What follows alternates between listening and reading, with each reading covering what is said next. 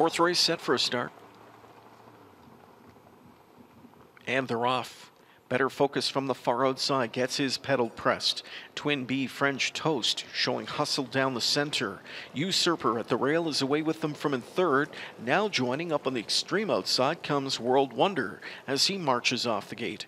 Into the five hole, last mock, sixth century Grizzly, seventh backed up towards the rail goes Bet the Limit. Final two in the field are Frontier Cruise, and last is last three. Here's the quarter. Better focus in 28 and 1 leads the way over Twin B French toast. Parked out driving comes Long Shot World Wonder from in third. The rail fourth belongs to Usurper. Then three back inside to Last Mock from fifth. Century Grizzly sixth. Bet the Limit seventh. Eighth across the backstretch to Frontier Cruise. Winding up from back in ninth is Last Three. Up on the outside, looking for the front is World Wonder, but can't quite get by. Off stride went Last Mock. The favorite made a break and he's in the safety lane there for McNair as the field is by the half in 57 and 3 fifths seconds. Into the far turn, better focus inside. World Wonder on the outside. Horrible trip for him. Right there, third is Twin B French Toast. Then to the outside, Usurper from in fourth, well placed. Backed up Century Grizzly on cover that's not advancing. Three quarter bound go the rookies.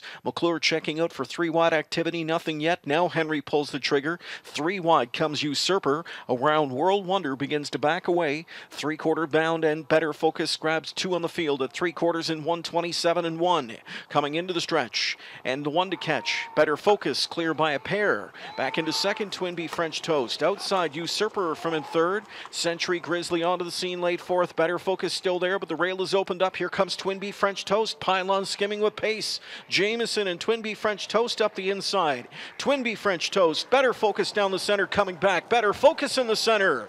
Pulls one out of the fire with a score of 156 for McClure.